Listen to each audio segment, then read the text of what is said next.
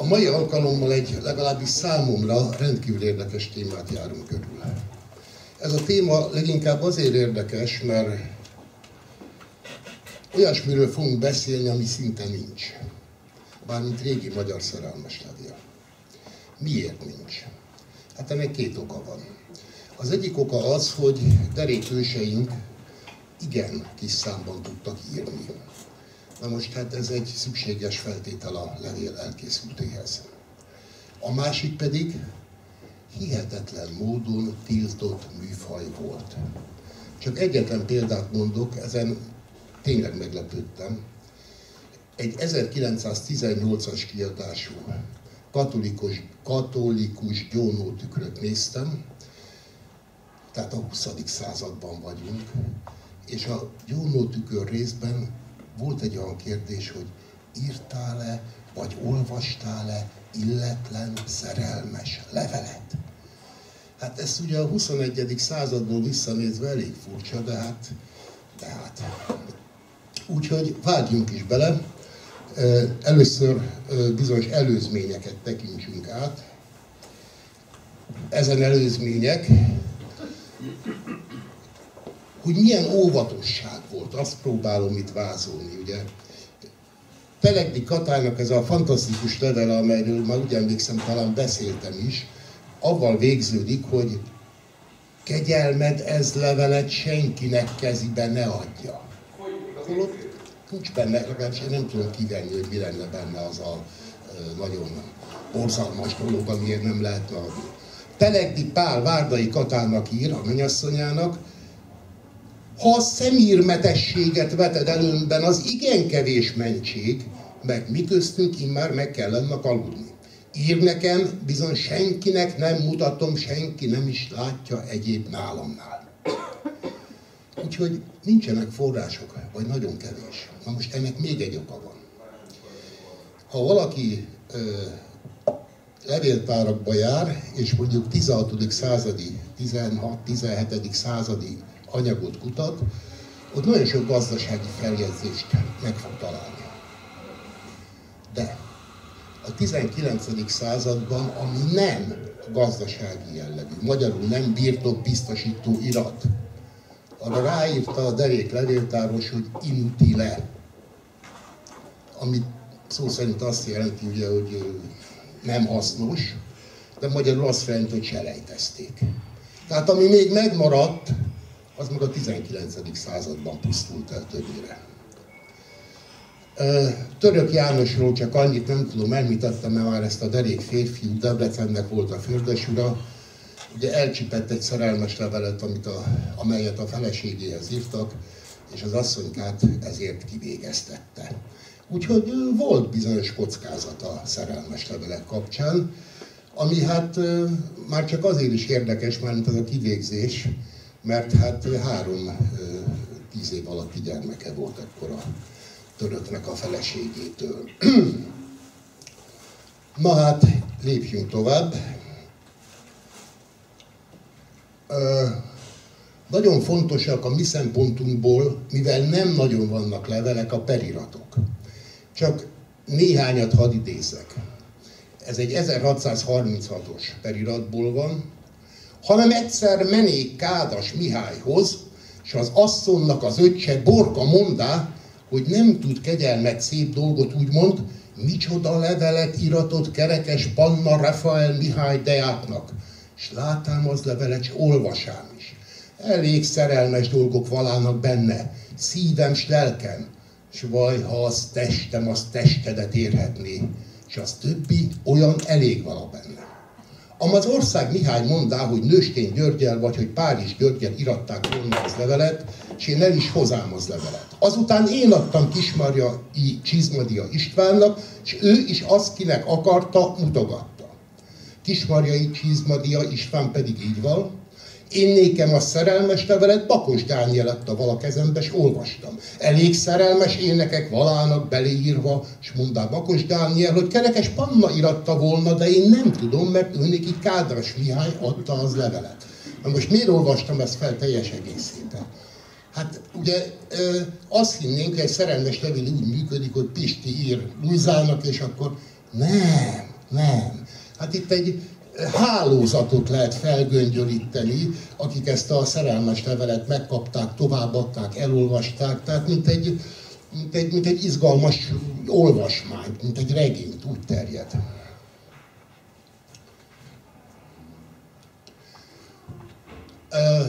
A két legjobban dokumentált, tehát általunk legjobban ismert per, ez eset, bocsánat, ebből bonyolultan lett per, Révai Ferencné Forgán Zsuzsannáé, akit, akit a forgástól Bakit Péter megszöltetett.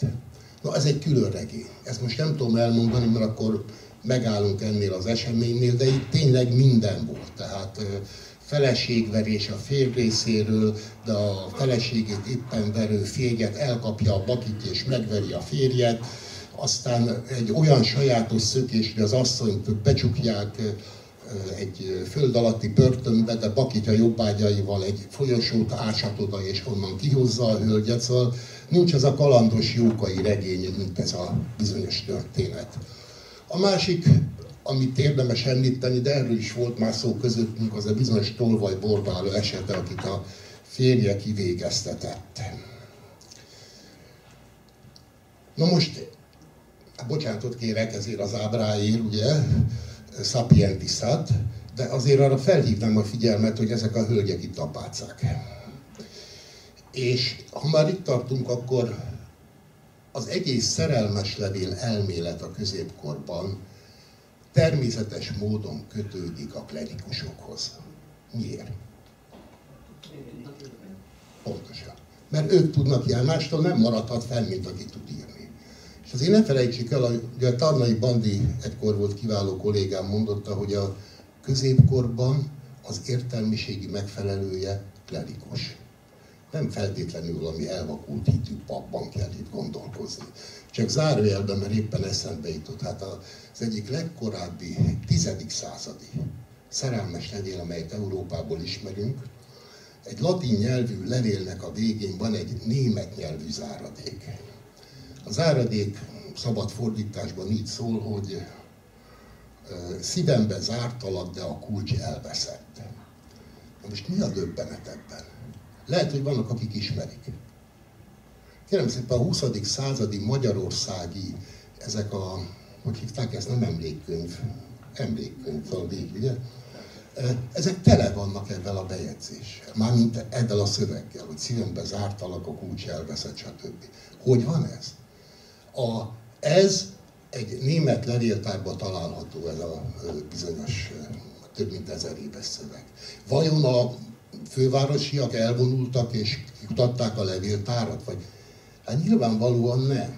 Nyilvánvalóan még az is elképzelhető, hogy ez is, sőt valószínű, valami előzményre megy vissza, ez egy toposz volt, ez a toposz elterjedt Németországban a 10. századtól a 20 onnan átkerült Magyarországra, és használjuk egészséggel.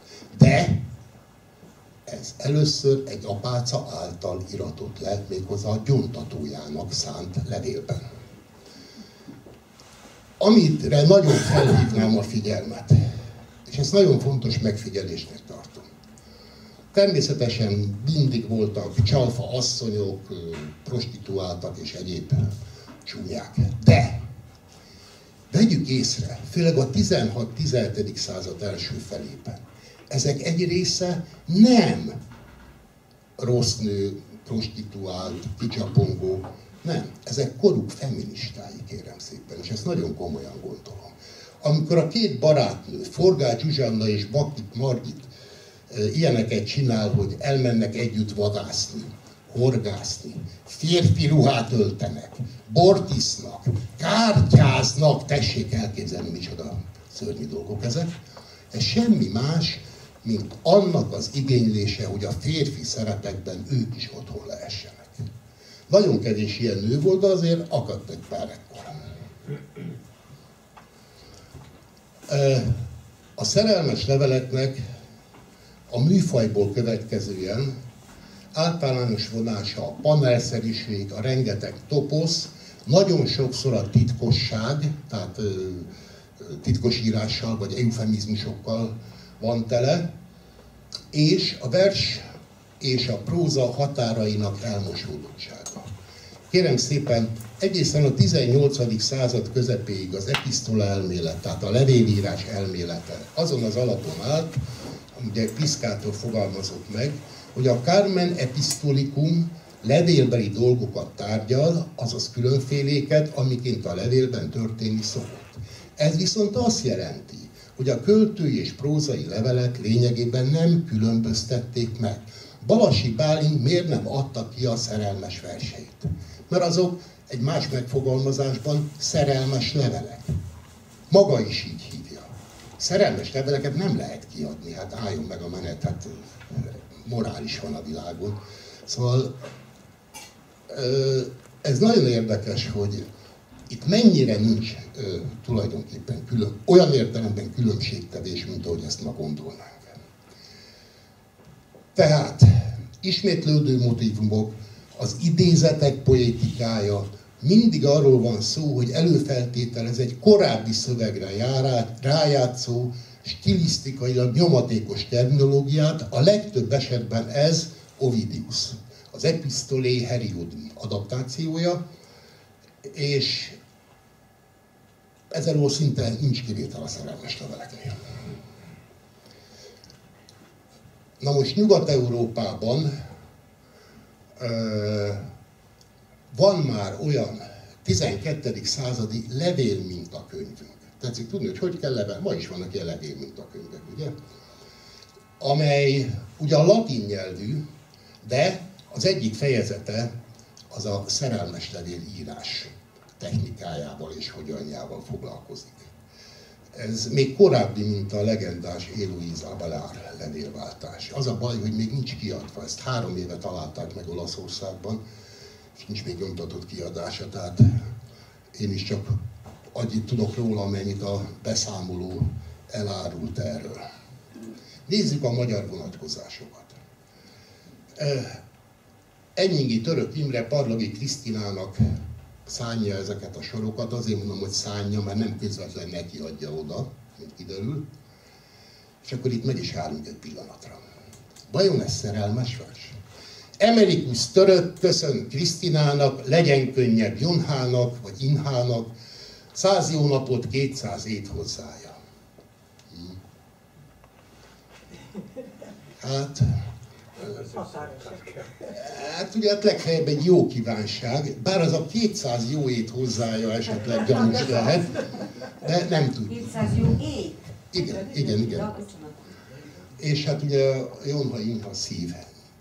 Az első férfi, akiről Magyarországon tudjuk, hogy tuti, hogy írt szerelmes levelet, az nem más, mint a Sallaga, vagy Salgai, vagy Széchenyi sokféleképp nevezték Miklós a 14. század, 15. 14.-15. századból. Onnan tudjuk, ez egy érdekes figura volt, ő is egy regény alap tulajdonképpen. Csak zárójelben mondom el, hogy Magyarország egyik legnagyobb birtokosa volt, a király után egy darabig a második ember, aztán elcsipik, mindenféle vádak vannak, de a mai történészek úgy látják, hogy nem voltak ezek a vádak megalapozottak, nem erről van szó. Arról van szó, hogy Velék Salgai annyira más volt kulturálisan. Másképp gondolkozott. Nem állt be a, hogy mondjam, a párt irányba, hanem egy egyéb koncepciót akart megvalósítani. Most ő aztán ügyesen lelép Velencébe, Rialton lesz palotája, és a végrendeletében azt írja, hogy omnes littere missive de amore azaz minden szerelmes levelét égessék el. No de, azt nem tudjuk, hogy egy, milyen nyelven voltak ezek a szerelmes levelek. Nagyon szeretnék, a magyarul lettek volna, de nem tudjuk. Lehettek olaszul, lehettek latinul, akárhogyan. Kettő. Nem tudjuk, hogy ő írta ezeket a szerelmes leveleket, vagy ő kapta ezeket a szerelmes leveleket. Ugye az ember általában azokkal a levelekkel rendelkezik, amelyeket kap. Amelyeket elküld, az legritkább esetben van nála. Úgyhogy sok itt a bizonytalanság, kérem. Mi az, hogy szerelmes levél? A kérdésem nem költői, hát ez is egy szerelmes levél. Ugyanis, mi vitte félre nagyon sokszor a kutatókat? Egyrészt a szóhasználat. Hát önök is tudják, hogy az, hogy szeretet vagy szerelem, az más jelent a magyar nyelven, de mióta jelent mást. Hát ez a jelentés megosztás a 18. század végén kezdődött, a 19. században még nem teljesen alakult ki, és végül is a 20. században véglegesítődött. Tehát amikor szerelmes barátném, az nem biztos, az, az, az lehet, hogy a jó barátom. Hát a 20. században egy Kendes Sándor nevű író írt egy drámát, Szerelmetes barátaim. Az nem arról szól, hogy azok homoszexuális férfiak lettek volna, miért? Legnagyobb döbbenet számomra az utóbbi időben az volt, amikor ugye egy kiváló iramtörténészünk kölcseit hát, homoszexuális hajlamokkal vádolta a levelei alapján. Hát nem érti a levelet. Hát másképp beszélnek. Vagy mondok egy másik példát, Várkonyi Nándor nevét nem tudom ismerik, egy egészen kitűnő kultúrtörténész volt. Kérem szépen, Várkonyi Nándor leveleit a magvető kiadó 1978-ban nem akarta kiadni, mondván, hogy hát ilyen erotikus, homoszexuális leveleket, amelyeket ő Babicshoz, meg másokhoz írt, tehát nem fogunk megjelentetni. Nem, nem, nem erotikus, nem, másképp beszéltek. De innentől kezdve azért a filosznak nehéz dolga van a 16-17. századi levelekkel, hogy eldönteni, hogy tulajdonképpen mi a szerelmes levél. Éppen ezért mi most óvatosak leszünk, és attól, hogy szerelmes szófordulat előfordul, vagy hasonló, ez még számunkra semmit nem fog jelenteni.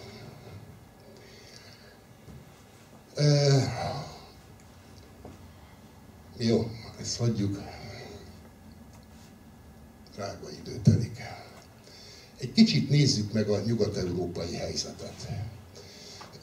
De a mi korszakunkban, tehát ahol nem a középkort elsősorban, ugye a középkorról sokat lehetne beszélni, Andreas Capellanus és társai, de minket most ugye a 16. század érdekel, amikor már vannak magyar nyelvűek is. Angel D., valamint William Fullwood, az, akik a 16. század végén az angol szakirodalomban, hogy úgy mondjam, a episztlész amatoritát, a szerelmes levelet tárgyalják. Ez azért érdekes a mi számunkra, mert ezek másodlagos, hogy mondjam, elméletek, gyakorlatilag összefoglalja az angol, francia, német nyelvterületen eddig megjelent munkákat, azt, ahol megállapítják, hogy hogyan kell szerelmes levelet írni. Na most ez elég élesen veti fel a magyar viszonyok másságát, ahol nem arról van hogy hogyan kell, hanem egyszerűen úgy néz ki, hogy ennek nincs társadalmi elfogadottsága. Most azt fogjuk játszani, hogy sorba veszünk néhány, mégiscsak fennmaradt.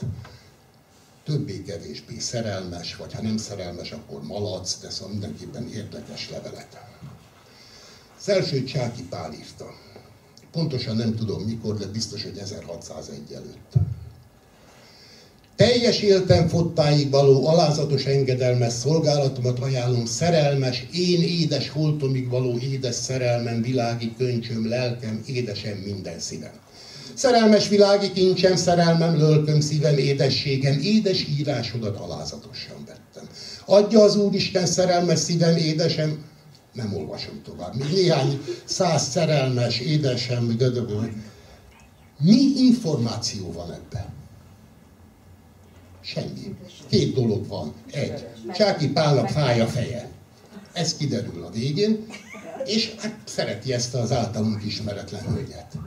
No de ez az egyik lényege a szerelmes levélnek, tessék megérteni, hogy nem a stilisztikájának, hogy nem arról szól a történet, hogy valami etikus konnotáció, és el akarok valamit mondani, hanem egy, nem tudok rá jobb szót hirtelenjében, ömlengés.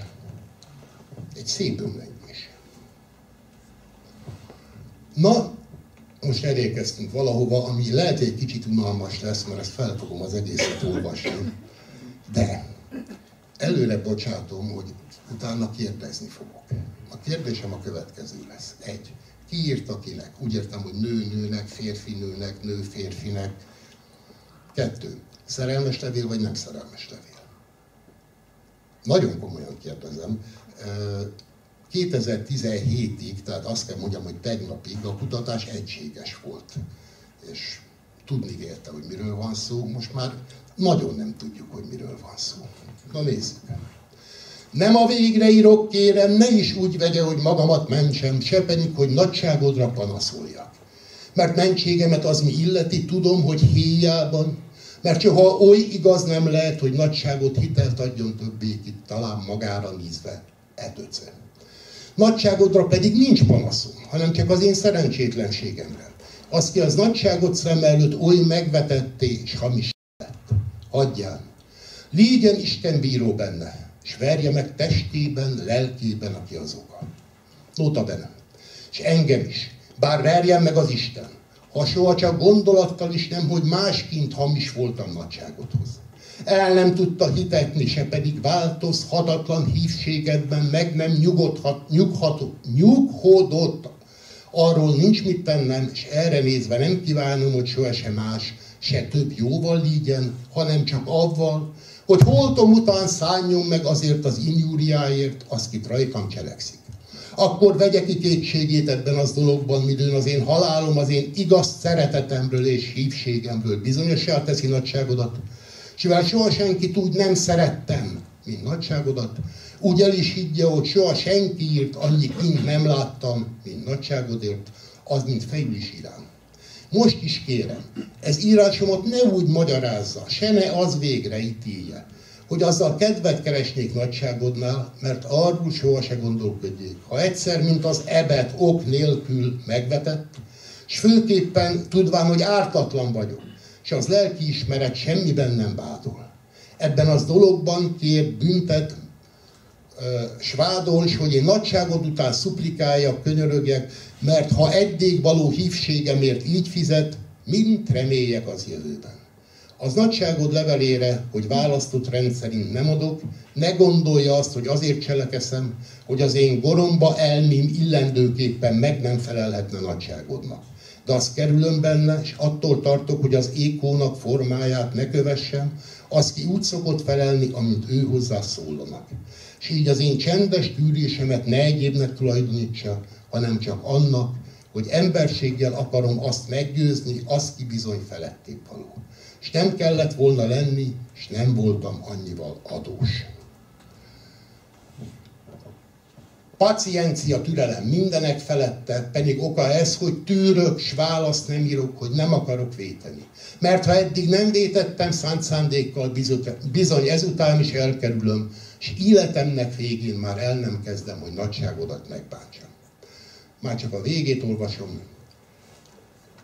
ha írásomban mit vétek, megbocsássa hegyebért, nem azért, hogy már soha többé nem vétek nagyságod ellen, ki nagyságodhoz, hogy sem egy szív elviselhet, és ezért is keresi veszedelmit, hogy inkább akar meghalni, hogy sem mint nagyságodhoz legkisebb jó akaratban megváltozni vagy megszűnni.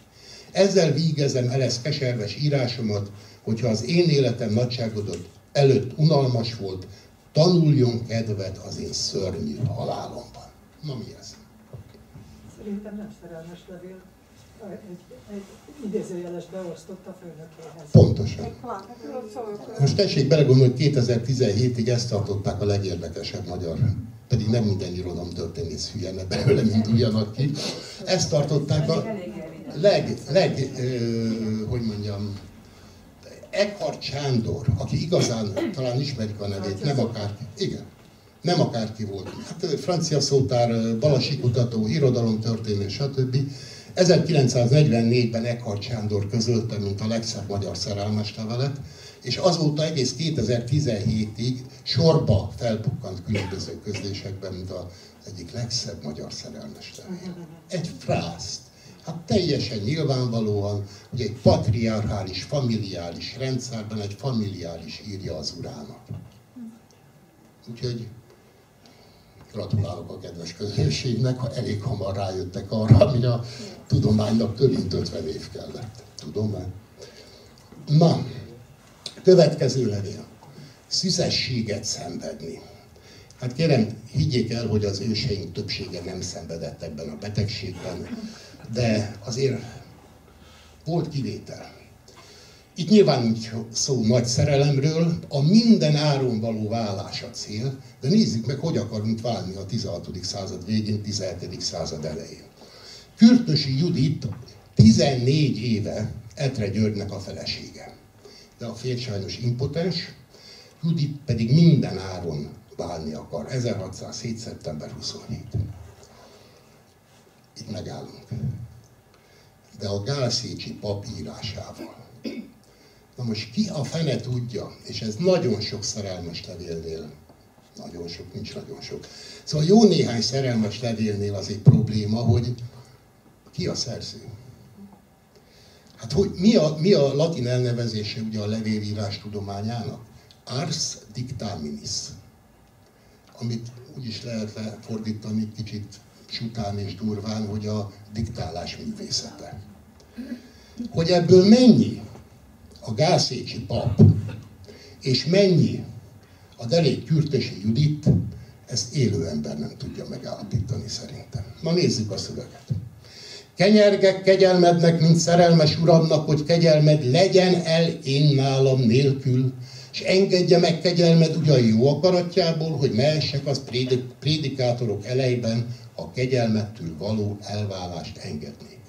De így, hogy kegyelmed írjon én nekem egy szép levelet, kiben azt engedje meg kegyelmed, és lelkiismeretére kérem, esküvéssel írja meg kegyelmed, hogy tagadhatatlan kegyelmedbe az fogyatkozás, hogy nincsen kegyelmednek házassághoz és szaprodáshoz való férfiúság, nem is volt soha. Én nékem azt mondják, hogy elég volna ez ilyen kegyelmed írása az elvárásra. Kegyelmedet pedig kérem az Istenért, hogy ezért kegyelmed rám ne nehezteljen. Mert én kegyelmettől soha el nem válnám, hogyha éjjel-nappal az lelki ismeret nem furdalna, és az kétségbeesés nem háborgatna. De az a három nagy kísértet szorongat engemet. Egyik ez, hogy minél fogva megtudtam, miben áll az házasság, és hogy még akkor el kellett volna kegyelmettől válnom, hogy azt végre nem vittem, és furdalja lelkemet, hogyha elváltam volna, és férjhez mentem volna, ezdig az Úristen magzatokkal is meglátogatott volna. A második ez, hogy az doktor nekem passán nyilván megmondotta, hogy az én torkomban való betegség addig el nem áll rólam, míg férfiúval nem kezdek lakni. Kegyelmed megítélheti, hogy nem jó tudva ilyen testi nyavaját viselnem, és ezzel is vesztenem magamat. Harmadik ez, hogy még ifjú ember vagyok, de hogy sem férjes, sem férjetlen nem vagyok, testembe való tusakodással is veszekedem.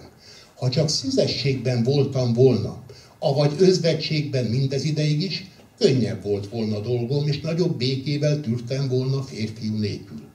De hogy férfival kellett hálnom hiába, nagyobb gerjedés is indult bennem az házassághoz, és ez miatt nehezen oltalmaztam ez idáig is magamat férfi nélkül. Úristen oltalmazott magam után. Ne tartsunk kegyelmed ellen benne, hadd viseljek ebből szabadságosan gondot magamra, csak egy levelet írja meg kegyelmed, azt kiről odaföl irattam. Mert a kegyelmed azt megírja, nem kellett is semmi tanukat vallanom. De a kegyelmed azt meg nem írja. Kénytelen leszek tanukat szerezni és vallani. Mindezekről választ várok kegyelmettől, mint szerelmes uramtól. Az Istenre ne tartson ezekbe ellen kegyelmet, mert én már tovább ugyan nem szenvedhetek. Az házból én ki nem megyek, és a kegyelmed visszatér, ugyan kegyelmedé a stégen szállás és semmiképpen szekve el nem megyek, el sem hagyom házamat. Mert az kegyelmet együtt kereste én velem, és mint pedig egyéb aprólék marháinkat, az mi vagyon és élésünket. Azul kegyelmed nem feledkezik, hogy pusztán hadná az házat, stb.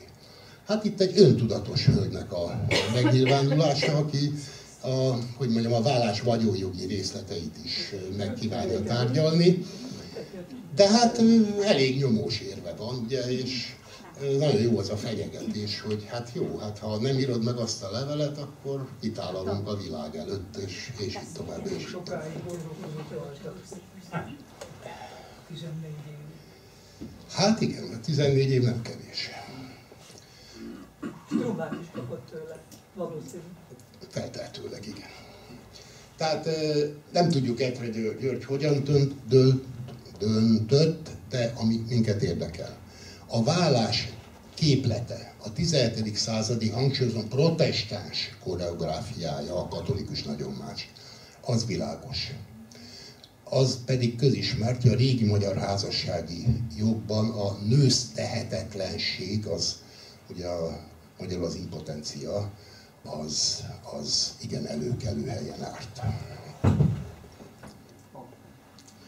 Na kérem, nézzük a negyedik és ötödik levelet. Ez egy kicsit malac lesz, elnézést kérek, de kuriózum. Nem maradtak fenn ilyen levelek. Ezt az egyet ismerem. Selmeci Borbál a Csipertes Balázs Gáspárnak tavárnok.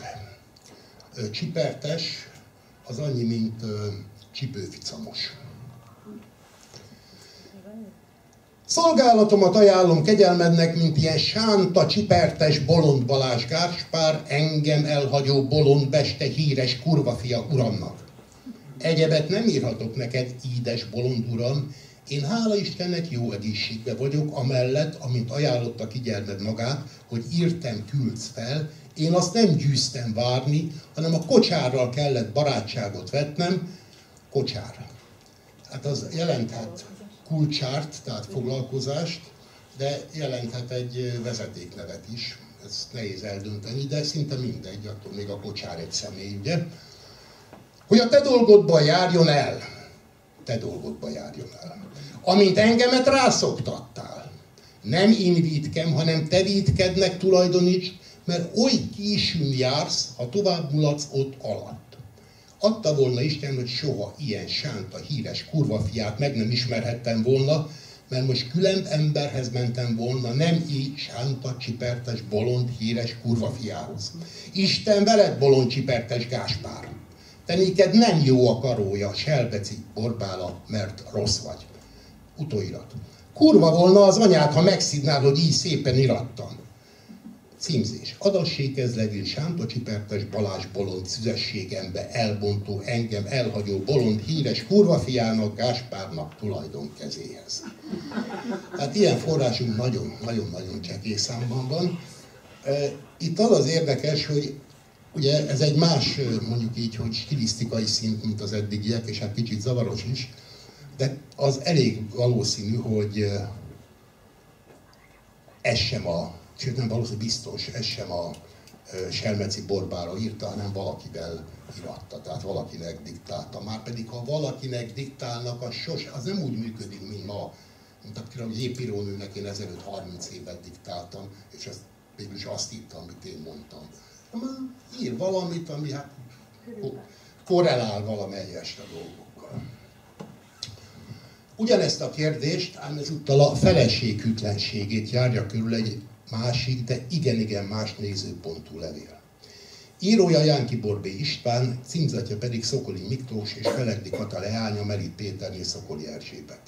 Év nincs, hely nincs, az biztos, hogy a 17. század legeleje. Na most miért érdekes ez a levél, és még néhány levél, amit nézünk? Kérem szépen, én nagyon jól szórakoztam, amikor közelmúltban megjelent egy kiadvány, amely azon pártfunkcionárius feleségek írásait közölte, akik a pártbizottsághoz fordultak uruk ügyében, mármint uruk hűtlensége ügyében, és kérték az erkölcsös pártot, hogy hát ugye járjon közbe, igen, és hát rakja rendbe ezt a dolgot. Na most hát ennek hihetetlen hagyománya van. Ilyen levelet nagyon sokat találunk a levéltárakban, ahol egy magasabb rangúhoz, lehet az akár hölgy, akár úr, fordul valaki, hogy intézze már el, rakja már rendbe, és így tovább. Soha ifjúságomtól fogva ennél keservesebb életem nem volt, mint most. Azt sem tudom, ha vagyoné feleségem, vagy nincsen.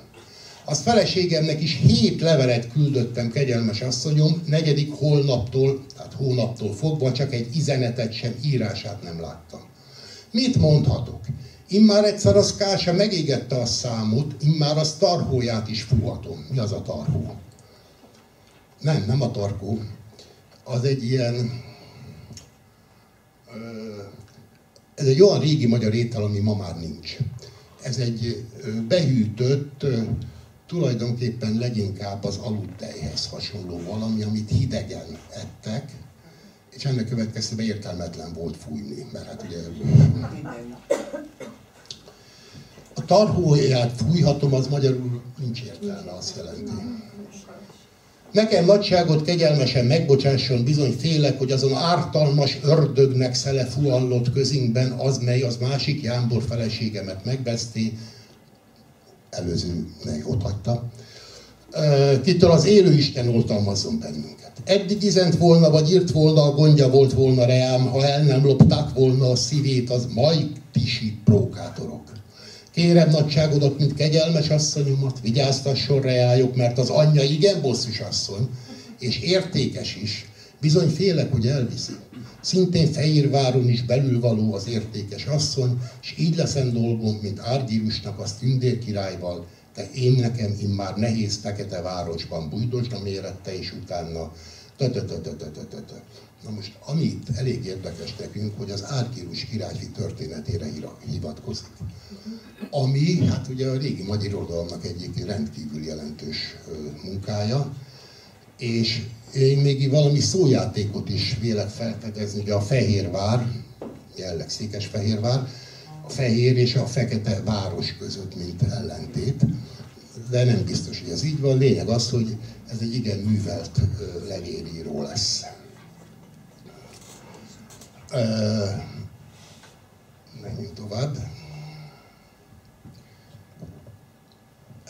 Például Pál Deákné, tehát Pál felesége, az így kér segítséget Várdai Katától. Pál Deák én velem miképpen s mi módon lakott, mely fertelmes undok, szitkokkal és vereségekkel engemet illetett, melyet nem, hogy keresztény embernek, hűtös társának kellett volna cselekedni, de még szolgájával is nem kellett volna cselekedni, stb. stb. Ö, ő kegyelme Pál Deák uram, én rajtam sok időtől fogván cselekedett, és mostan is naponként cselekedik mert ennek előtte is sokszor engemet házától elűzött, de az magam böcsületéért nem cselekedtem, el nem mentem, mert volt intésem ő kegyelmitől, az én böcsületes uramtól, az prédikátortól. Stb. stb. Tehát itt leírja, hogy mennyire megromlott ez a viszony, azon senki más nem tud segíteni, csak természetesen nagyságos, tiszteletre méltó Várdai Gata asszony.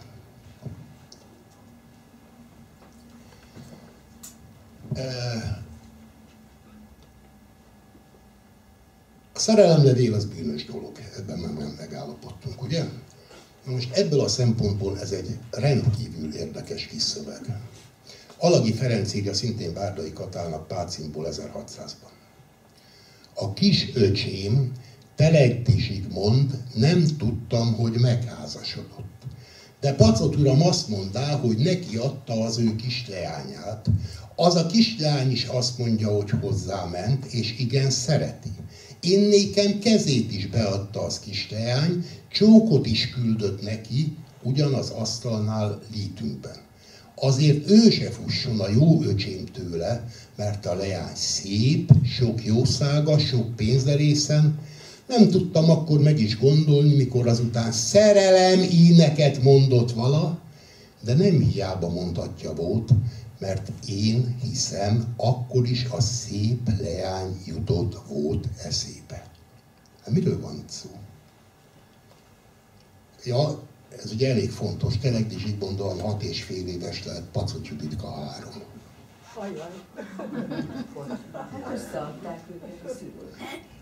Hát pontosan, hát a gyerekekkel papás-mamást játszhatnak, vagy minek hívjam, és, de ez a lényeg nekem, azt mondja, hogy a gyerek szereleméneket mondott.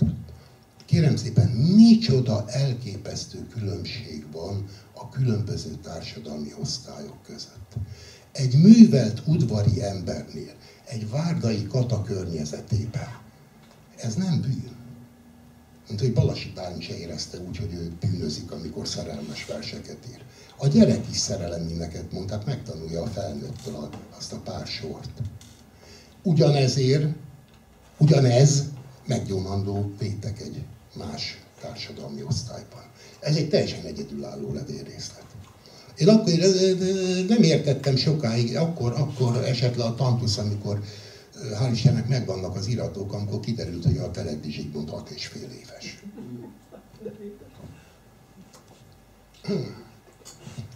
Na kérem szépen, egy olyan részhez érkeztünk, ahol állítólag, állítólag ennek semmi köze a szerelemhez, a jezsuiták és a szerelem. E, először kommentár nélkül olvasnám ezt a pár sort. Amelyet egy nő írt, Helmeci Anna. Mostan mind szent dolgokban forgolódom, mivel Pető Mihályné anyámot, azt tudjuk, hogy az anya az nem édesanyát jelent, hanem a nálam idősebb nőt. És hetteiné leányomot férnek szerzém, de mindazonáltal magamról sem feledkezem el. Az Pető jezsuitával igen nagy szerelemben estem, legfőképpen a szép piros ajakával. Immár énékem nem kell ez világi, hanem csak más világi. Az két kisasszonynak ajánlom szolgálatomat, és az két leányasszonynak is. Nagyságot én nekem küldjön valami szép görögdínyét, mivel igen szereti az édes Pető jezsuitám. Nagyságodnak szolgál Helmeci, Anna, Manu Propria. Na most a következőket tudjuk. Vagy még egy részletet felolvasok, hogy A. A Pető család azon kivételes családok közé tartozott, akik soha nem hagyták el a katolikus vallást. De végig a 16. században nem lettek reformátusok, semmi, katolikusok voltak. Ám a Pető között én egyetlen jezsuitát sem találtam ebben az időben. Hát attól még lehet, de nem valószínű. Nem tudom ezt másképp értelmezni, mint valami sajátos tréfát, hogy a Helmeci Anna az hülyéskedik. Hát nem, nem tudok erre más elképzelni, de nézzük először a, még a következő részt. Szakolcai György levele, és ebből csak egy részlet. Ugyanarról a Helmeci Annáról szól, aki az előző levelet írta. Az mellett azt hallom, hogy Helmeci Annók asszony még férjhez nem ment. Csuda dolog, talán úgy akar megagni vénségében. Ki szeretni fog, kit vár, hogy férjhez nem megyen? A vénlotyó. Avagy talán senki nem szereti ő kegyelmét? Na talán engemet én rám ne várjon, mert én megházasodtam, abban megcsal a reménység. Ezt, nagyságos asszonyom, tréfaképpen írom, innen gondolom, hogy az előző is valami ilyesmi lehet, nagyságod megbocsásson, azonképpen ő kegyelme is megbocsásson, most tessék figyelni, mert tudom azt, hogy ő kegyelme udvari asszony. Tetszik érteni? Ez egy más kategória. És meg nem haragszik érettem. Sőt, ajánlom ő kegyelmének szolgálatomat. Aztán egy újabb fordulat. A levél végén a levélíró Szakolcai György bevallja, hogy ő rengeteget szenved, egy gyötrelem a házassága, és felkínálja saját magát Annókának. Tehát bizonyos értelemben ez egy sajátos feleségkérő levél, kérem. Ugye hát ez elég érdekes, ez eléggé azt mutatja, hogy az udvari kontextus, a véglotyóval viccelődés és hasonlók, hát ez valami egészen más, mint a, mint a polgári, vagy akár a köznemesi rétegnek a kultúrája. Egy másik jezsuitákkal kapcsolatos ügy azonban már halálosan komolyan vendő, hát nem akárkiről van szó, Pázmány Péterről. Kérem szépen, Pázmány Péterről egy abszolút szabályos, ilyen 3 per 3-as feljelentés érkezik. Egy ismeretlen jezsuita a feljelentő, és a fikció szerint egy másik jezsuitához intézi levelét azért, hogy megakadályozza, hogy Pázmány, Pázmány kinevezzék az érseki székben. Stb. stb. De ami az izgalmas. Írása hiteléül mellékeli Pázmány három szerelmes levelét. Tetszik érteni? Szerelmes levél Pázmány Pétertől. Amelyet Balassánéhoz írt. Ez a Balassáné, ez egy oly hölgyemény volt, akinél Balassa Menyhértné Bakit Margit, akinél kétségtelenül gyakran időzött Pázmány, de nem, hogy mondjam, valószínű, hogy valami rossz szándék vezette volna őt, hanem megtérítette, tehát katolikus hitre tért a Balassa mennyírtnél. Na most teljesen nyilvánvaló, hogy ezek a levelek hamisítottak, és hogy nem Pázmány írta őket. Mégis miért érdekesek? Először is, a levélíró azt állítja, tehát a feljelentő, ha úgy tetszik, hogy ezek magyar szerelmes levelek voltak, csak hogy hát ugye mindenki értse, ő latinra fordította. Tehát latinul vannak a pázmány szerelmes levelei. Én kénytelen voltam ugye visszafordítani latinról magyarra, hogy... Na de az az érdekes, hogy ugye ha én szerelmes levelet írok valakinek a nevébe, és csalok és hazudok, akkor próbálok valami olyan fikciót követni, ami valószínűsíti a hitelét a dolognak. Tehát azt a sémát, ahogy szerelmes levelet kell írni a 17. század közepén. Na mi jött ki ebből? A másodikat és a harmadikat fordítottam. Jaj, csak le. Ó, megbecsületetlen, igaz szeretőm, legdrágább lelkecském. Ó, legkedvesebb társam, lelkecském, anyám, mire emlékeztet ez minket? Emlékszünk arra a levélre, ugye még amit legelőször olvastam, ahol ilyen halmozások vannak? Miként tudnék neked hálát adni, hogy ne válaszolnék a te irántam való nagy aggodalmadra? Jaj, legkedvesebb leágyom, későre jár, már nem tudok sokat írni. Titkos írással írt soraidat, és másik enyéit sem tudtam elolvasni, mert elszalasztanám a postát. Annyit röviden tudtodra akartam adni, keresztúri, annak rendje módja szerint megérkezett hozzám. Tudod, a legkedvesebb galambom, a szerelemnek nem lehet parancsolni. Leveledet azonban tényleg úgy küldhetted volna, amit rövidesen fogod, leányom, ad postára leányom, és latinul nekem címezzed. Én leányom hetenként fogok írni. Isten veled én legszeretőbb lelkem. Igaz társad Pázmány Péter. Nem akarok most belemenni, hogy miért nonsens, hogy ezt Pázmány írta volna, de az. Harmadik levél. Szívecském. Bocsáss meg, hogy futpában írok, ugyanis ma sok, sok a dolgom, és későn kezdtem a levélírásba. Legkedvesebb társam, lelkecském, édességes galambom, hát hogy vagy? Ha lábaddal mi a helyzet? Fája a fejed? Írd meg igazán.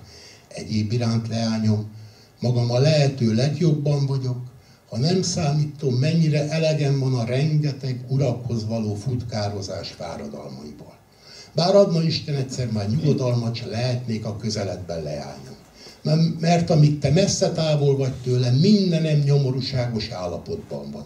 Jaj, én legédesebb egyetlenem.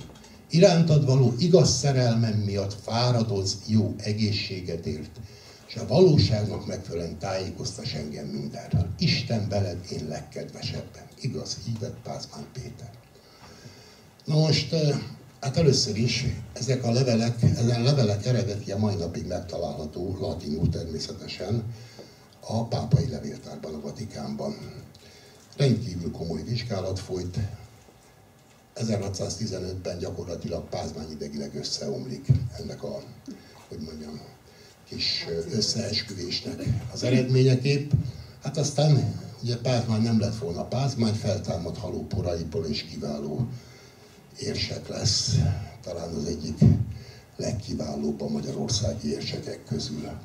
De hogy a jezsuitáknál is ebben lehet, hogy mondjam, érdekes módon eredményeket elérni, tehát a szerelmes levéllel, az azért sajátos. Na, utoljára még egy szerelmes levelet említenék, amely azért sajátos, mert egyrészt megjelent nyomtatásban a maga korában, hát ilyen nem nagyon volt, másrészt hát szintén kötődik Pázmányhoz. Ugye Pázmány 1689-ben természetesen már halott, akkor jelenik a keresztény imádság, akkor jelenik, jelenik meg keresztény imádságos könyvének immár a kilencedik kiadása, amely egy rendkívül sajátos udvarló levelet tartalmaz. Ennek a szerzője is egy jezsuita, méghozzá Kecskeméti János. Kecskeméti Jánosról annyit tudunk, hogy 1659-ben Nagyszombatban lépett a jezsuita rendbe, több helyütt volt Kassán, Győrben, Kőszegen, Nagyszombaton, de Nagyszombaton még a jezsuita kollégium igazgatója is volt, majd ő vezeti 14 éven keresztül a Pécsi Pászmáneumot, tehát éppessége nem egy jelentéktelen figura. No kérem szépen, ez a derék kecskeméti azt csinálja, hogy az ajánlásban egy szerelmes levelet rejt el.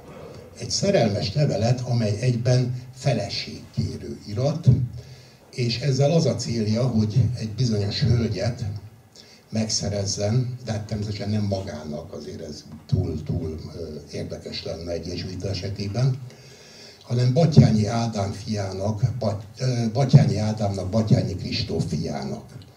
De hogy valaki 1689-ben kinyomtatva egy házasságkérő szerelmes levelet egy keresztényi imádságos könyv előszavában, hát ez, ez azt kell mondjam, hogy meglehetősen egyedülálló. De hát volt ilyen, csak egy ilyen eset is. Na kérem szépen, még egy nagyon rövid kitérő, mert már nem nagyon van időm, ahogy elnézem. Nézzük meg a polgári kisnemesi környezetet, hogy itt micsoda büntetések voltak. 1634. március 28. A katonák, ezek ugye már nem levelek, hanem per iratok, vallomások. A katonák közlekó Szabó Péternéről vallják. Szabó Péterné mondá, Istenem az, kitől mindéltig féltem, most esem bele. Ismét mondá Szőcs Jánosnak. Jó János uram, ha én nekem fejemet veszik, a szegény gyermekeknek adj egyszer másszor egy-egy pénzt vagy kenyeret. Tehát a gyerekeinek. 1639. Csizmadia Erzsébetről valja Móga Györgyné Erzsébet asszony. Azt tudom, azt mondám, mikor oda jött hozzám Innya, Innya ugye főnévége név, inni, hogy én nékem el kell mennem, mert immár tudja az én dolgomat 25 ember, az mikor fejemet veszik is, az elemben tartom az kis leánkámot, hogy annak is üsség el az fejét. 1640. január 17. Hallottam asztalos Mártontól magától azt, hogy szitta a feleségét azzal, hogy meglád, rövid nap a seggethez tétetem a fejedet. És így tovább, hát ezekből számtalan van. Ez csak így, hogy mondjam, mutatóba. Egészen más a helyzet a főuraknál. Egy főúr lényegében büntetlenül megölheti a feleségét. Ezt egy polgár vagy egy kisnemes nem teheti meg. Itt nincsenek ilyen városi, megyei perek, stb. Egy példát hozok csak, Sárkány János példáját, aki nem akárki, ő a Kanizsa elleni végek alkapitánya, Egerszeg parancsnoka. Ő aztán elmenekül méghozzá az Rínyi Péterhez, mert hogy hát kivégeztette a feleségét, pontosabban ő saját kezüleg megölte, Törös Katalint. De hát az is hozzátartozik az igazsághoz, hogy Törös Katácska 14 évig Pattyányi Kristófnak a főkapitánynak volt. Ez szó szerint idézet egy levélből, ami Zrínyi Péterhez szól, a rimája. Rendkívül ritka kérem szépen a józan hang. Az indulatok nélküli. Persze az indulatok nélküliség mindig mások esetében működik, nem a saját esetben. Egy példát hozok rá, ugye ez a bizonyos Révai Ferenc, akit ott hagyott a felesége, akit Bakit Péter ugye megszoktatett abból a pincéből. Ő így inti Jésázi Révait. Én nékem úgy tetszik, hogy kegyedért jobb, ha az asszony bűnösítette magát, hogy nem mint kegyed megvette volna. Eléggé megölte ő maga magát, és meghalna, ha halhatna. Efféle dolgot mennél inkább forgatják, annál gonoszabb. Nagyobb az sokkal is az halálnál, de mindezeken felül az Istennek haragja fejükön leszel és megbünteti őket, úgy, hogy más embernek is példák lehetnek. Kegyelmed azért csendes és békességes elmével tűrje ezeket. Várjon Istentől és az időtől. Igaz bíró az Úristen, és igazat teszen kegyelmednek. Itt azért egy kis raffináció van ebben, mert az Istvánnak fennmaradt az a levele is, amit Bakik Péterhez írt. És ebben azt írja, hogy nyilvánvalóan nem szó szerint idézem, nem tudom fejből, kedves Bakik Péter, nem kell megijedni, ez a totya izé, vén hülye Révai Ferenc, az úgyse fog csinálni semmit, stb. stb. Aztán még egy levél Révainak. Az én tetszésem, én tetszésem szerint mondom kegyelmednek, ha megölhetném is az asszony, meg nem ölném, hanem mindaddig, amíg élne a sok jámbor között, hat pironkodnék egész életében, ő maga megveri eléggé magát, rövid időn belül meglátja kegyelmet, mind a kettő oda lesz. Nem ártott, sőt jól esett, hogy kegyelmet, bizonyságot szedetett, de a szent széken én azt soha nem keresném, ha kegyednek volnék, hanem várakoznám az gyűlésig. Tehát az országgyűlésre kell ezt bízni, nem holmi papokra, meg szentszékre. Kérem szépen, nagyjából ennyit szerettem volna elmondani, mert eh, vannak még izgalmas levelek, de az már nem igen fért volna az időbe. Úgyhogy nagy tisztelettel várom, hogyha esetleg vannak kérdések, hozzászólások, megjegyzések. Tényleg az a helyzet, amivel kezdtem. Nincsenek, minimális számban vannak forrásaink. Tehát még fel kéne tudni a levéltárakat, mert hiába a 19. századi tisztogatás, azért kell ott még lenni ilyen szép szerelmes leveleknek. Vagy ha nem is szerelmes, de sok szempontból a korabeli erkölcsre jellemző érdekes leveleknek.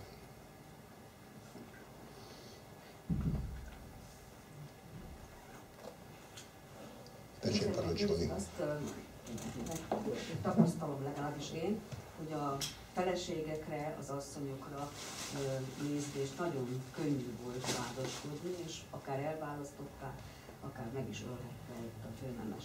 Fordított esetben valami testi hibát kellett, tehát impotenciát kellett bizonyítani, hogy elválasszák őket, de egyéb, tehát férfi hűtlenség, vagy nem tudom, mit lehet még itt felhozni, az nem igen szerepelt itt a állásjogok. Hát a férfi hűtlenség az nem tartozott abba a kategóriába, amelytől ugye elválasztják a feleket. De, de, azért, de azért nem ennyire egyszerű a dolog, mert tehát nagyon nehéz volt válni. A férfinek is nagyon nehéz volt válni bizonyos értelemben egyszerű volt megölni az asszony. Most ez nagyon drasztikusan hangzik, de ez az igazság. Volt vállás, hát tudok, Balasi Bálint is elvált, de az, az, az nem egyszerű. Az nem egyszerű. A férfinek sem egyszerű. Edvardnak sem.